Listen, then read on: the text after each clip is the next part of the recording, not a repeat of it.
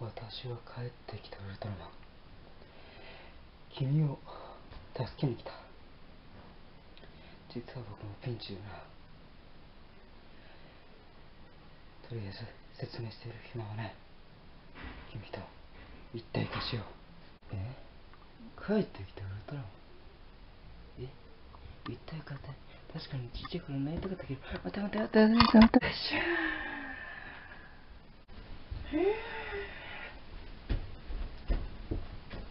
しゃあ行くしかねえか。マジか。ここまでかよ。よし。ここからいつどこ行ったんだよ。今投げ飛ばしたのにいなくなってる。だと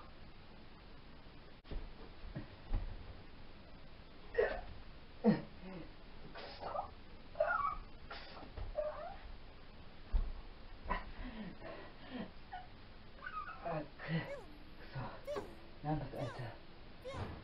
確かアンドラだったけどこんな能力が誰か。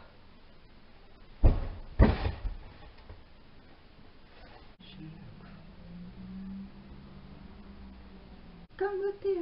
頑張ってよドラマ立ってた。まるかあった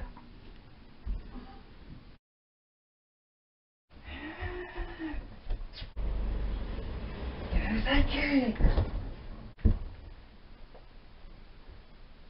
らのスペシャルカオさん。